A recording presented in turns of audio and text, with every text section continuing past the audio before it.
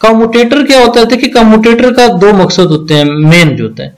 एक तो ये एसी एसी अल्टरनेटिंग करंट या अल्टरनेटिंग टार्क को क्या कहते हैं? यूनि डायरेक्शनल टार्क या यूनि डायरेक्शनल करंट में भी फ्राम कर देता है। दूसरा, ये रोटेटिंग पार्ट और स्टेशनरी पार्ट को कनेक्ट करता है। ठीक है? तो इसलिए इसको सिलेंड्रिकल वेज शेप में ज़्यादातर बनाया जाता है। कम्यूटेटर की शक्ल ये देखिए आपको ये नज़र आएगी ना। देखिए, यहाँ पे कम्यूटेटर लगा होता है। एक्चुअली इसकी बनावट कुछ इस तरह से होती है।